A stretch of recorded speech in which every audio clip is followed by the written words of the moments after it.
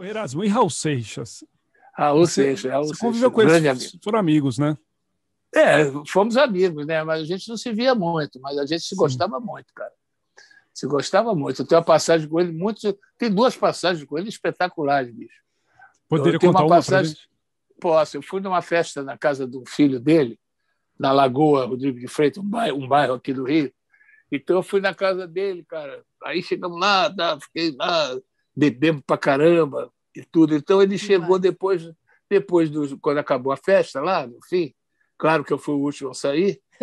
Então ele aí, ele aí pegou, pegou, ele pegou um disco de Elvis Presley importado, né? E, e escreveu uma, ficou escrevendo, escrevendo, escrevendo, escrevendo, escrevendo livro e me deu.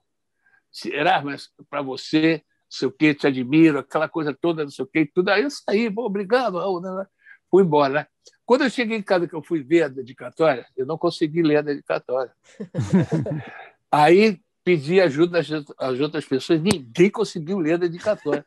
Aí alguém, alguém chegou para mim e disse assim: Olha, faz o seguinte, leva num farmacêutico, que farmacêutico entende letra de médico.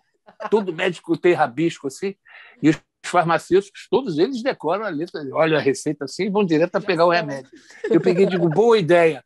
Levei numa porção de farmácia, ninguém conseguiu produzir. Eu tenho disco aqui até hoje, eu não sei quem está falando. Até hoje É alienígena, o Raul se comunicava com ele. Você nunca perguntou, Pedro que encontrou ele depois, Erasmo, para falar? Escuta, eu não entendi porra, né? Aí nós fomos fazer um festival de Guarapá, não, um festival, meu Deus. Qual foi o festival? Um festival aí, foi Águas Claras. Nós fomos Sim. Festival pioneiro, aquele que choveu para caramba, virou lama. E tudo aí a gente foi fazer.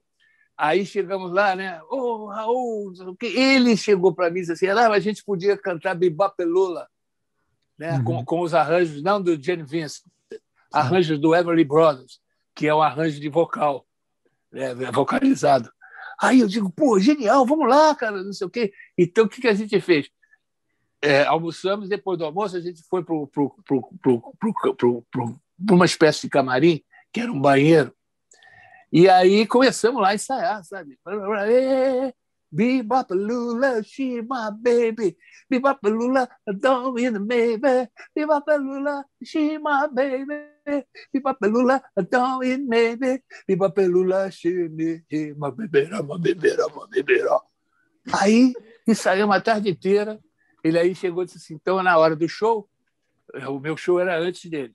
Então aí eu faço, eu, na hora do show era você faz o seguinte: eu entro, você não vai embora. Quando acabar o seu show, você não vai embora, você fica esperando.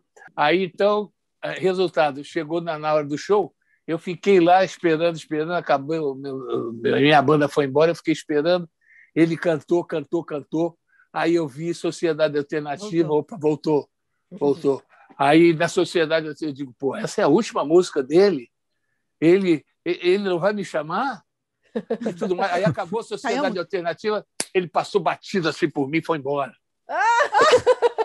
Ou seja, não valeu de nada ensaiar, combinar. Não valeu de nada, aí? nada. E aí acabou a história? Acabou, acabou a história. Foi Raul Seixas. Raul. Ele tocou Raul e foi embora. Tocou Raul. Esqueceu, provavelmente, né? Ficou bem doido, esqueceu. É.